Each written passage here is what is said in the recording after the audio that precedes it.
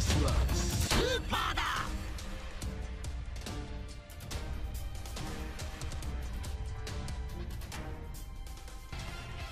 ハツおめえの好きにはさせねえぞおじいた VS ハツ絶対見てくれよな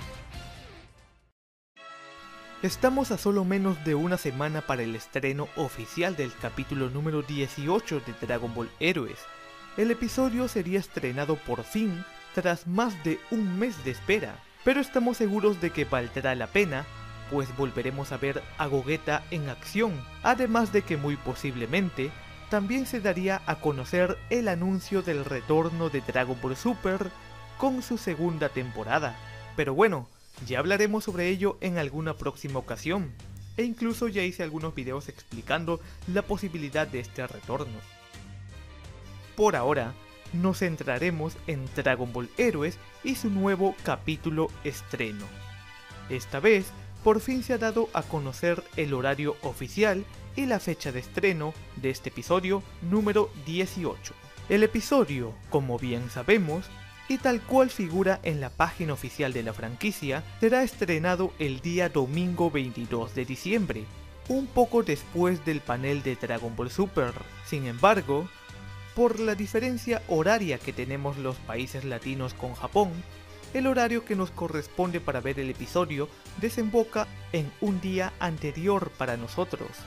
Por lo tanto, el estreno para Latinoamérica será el sábado 22 de diciembre, justo para recordar aquellos sábados de Dragon Ball Super con nuevos capítulos, pero esta vez con uno épico de héroes. Bueno, vamos con los horarios. El capítulo sería estrenado entonces entre el sábado 21 de diciembre al domingo 22 de diciembre. En Argentina será estrenado entre las 12 y 30 a una y media de la mañana. Cualquiera de ese horario podría ser estrenado el capítulo 18. De la misma manera para Brasil, ocuparía el mismo horario. Para Bolivia, llegaría entre las 11 y media hasta las 12 y media del día siguiente. Lo mismo para Chile, mientras que para Colombia el episodio estaría llegando en un rango hasta las 11 y media de la noche. Para Costa Rica, el episodio estaría llegando entre las 9 y media hasta las 10 y media de la noche. Para Cuba, entre las 11 y media del día sábado 21 hasta el domingo 12 y media de la madrugada. En España, por la diferencia horaria, el episodio estaría llegando entre las 5 y media hasta las 6 y media. En El Salvador, el episodio llegaría entre las 9 y media hasta las 10 y media. En Guatemala, de la misma manera, e igual en Honduras. En México, el episodio llegaría entre las 10 y media hasta las 11 y media. En Nicaragua, de 9 y media a 10 y media. En Panamá, 10 y media a 11 y media.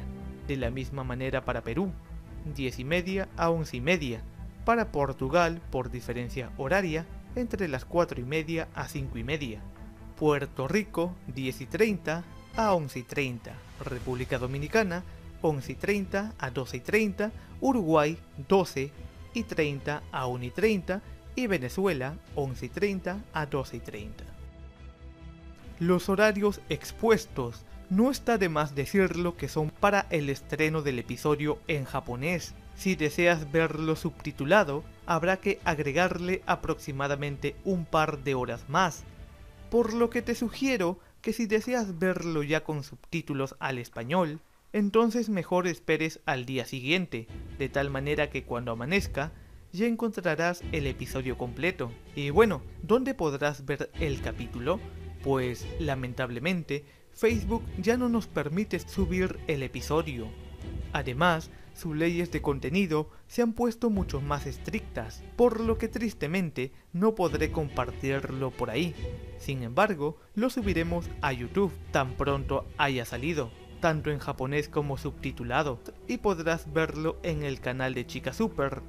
Muchos de ustedes ya la conocen, siempre comparte todos los capítulos, así que te recomiendo que estés suscrito a su canal como muestra de agradecimiento por compartir los capítulos.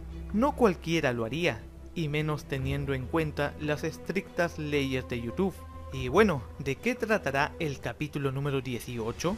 Pues si bien a priori sabemos que nos mostrará la batalla de Gogeta contra Hertz, gracias al manga y a la intuición de algunos fanáticos, pudimos descifrar algunos detalles interesantes que son demasiado lógicos para ser honesto, pues Gogeta utilizaría la transformación del Super Saiyajin Dios Azul. Lo sé, no es la gran revelación, pero es importante tener en cuenta que Gogeta Dios Azul no sería suficiente para derrotar a Hertz, así que aquí se abren tres posibles escenarios que vale la pena mencionar y teorizar. Primer escenario, Gogeta Dios Azul decide utilizar el Kaioken, de esta manera elevaría sus poderes abismalmente. En Dragon Ball Heroes todo puede pasar, y Gogeta Kaioken ya ha aparecido anteriormente, pero con la versión de Goku y Vegeta Zeno Super Saiyajin fase 4. Así que teniendo en cuenta este detalle, no desestimo la posibilidad viable que Gogeta se atreva a usar el Kaioken para enfrentarse a Hertz. De hecho, Hertz tiene el poder de la semilla universal, así que también se ha convertido en un adversario para temer, y de esta manera creo que ni Gogeta Dios Azul Kaioken sería suficiente.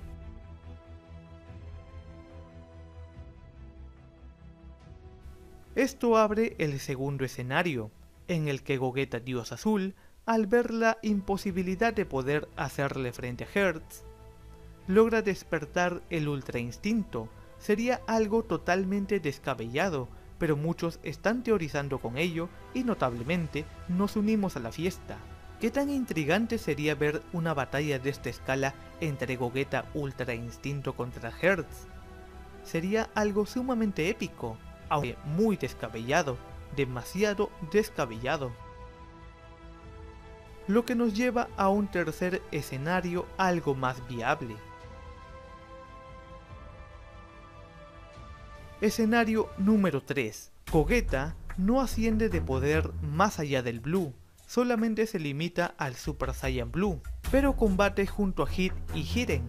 Ambos guerreros tienen un nivel considerablemente alto y aunque notablemente no están a la par contra Hertz, podrían ser de alguna manera de gran utilidad, pues sería algo estupendo seguir viéndolos en acción una batalla titánica entre los guerreros más fuertes de los universos número 6, 11 y 7.